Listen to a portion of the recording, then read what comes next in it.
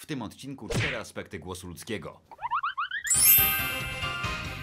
Przez wiele lat głos ludzki klasyfikowany był jako chordofon, czyli porównywany był do skrzypiec albo harfy eolskiej, gdzie dźwięk powstaje przez drgające struny.